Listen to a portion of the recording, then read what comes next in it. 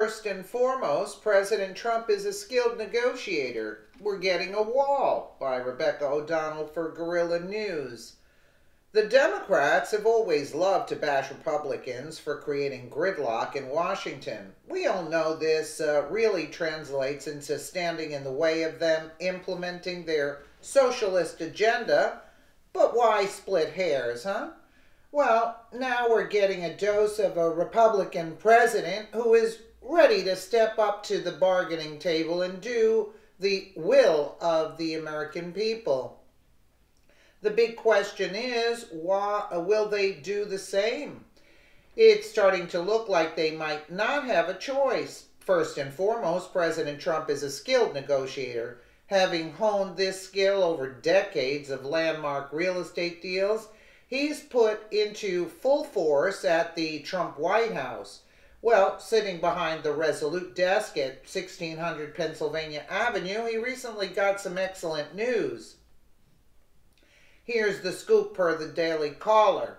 President Donald Trump will not sign a bill de facto legalizing illegal immigrants brought to the U.S. as children unless it contains provision for a wall on the southern border. border. He declared in a tweet Friday. Trump ended the Obama era executive action, otherwise known as DACA, in September, telling Congress it had six months to codify the program into law before uh, protections expired. Obama's DACA program issued work permits to illegal immigrants brought to the U.S. as children and granted them certain protections from deportation there are approximately 700,000 DACA recipients in the U.S. President named chain migration uh, and the visa lottery system as two particular immigration uh, priorities he wants to see ended. Recent New York City terrorist attackers were found to have been beneficiaries of either chain migration or the diversity visa lottery program.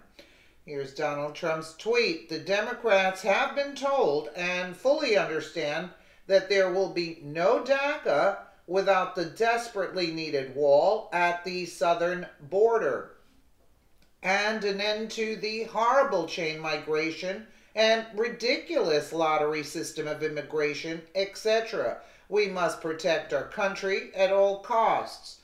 Check out The Wall per Breitbart. Donald Trump has promised supporters a great wall on the southern border since the day he announced his presidential campaign. He promised I would build a great wall, and nobody builds walls better than me, believe me, and I'll build them very inexpensively. I will build a great great wall on our southern border, and I will have Mexico pay for that wall.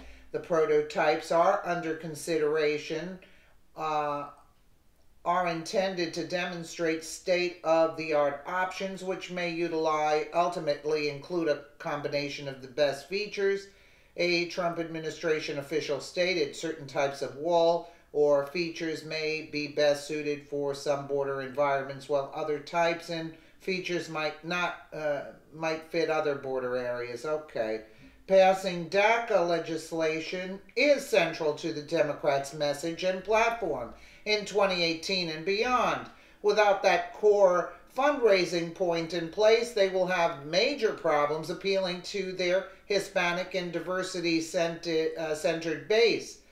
President Trump was wise to tie wall funding to a DACA bill. Multiple sources close to the administration have signaled that the president has reached an understanding with the congressional Democrats and that a DACA wall uh, bill is the first priority of after the winter break. Hallelujah, we're building the wall. Who needs swamp RINOs like uh, John McCain and Lisa Murkowski anyway? Totally agree with that. Let me know what you guys think in the comments below. And again, thank you so much for watching.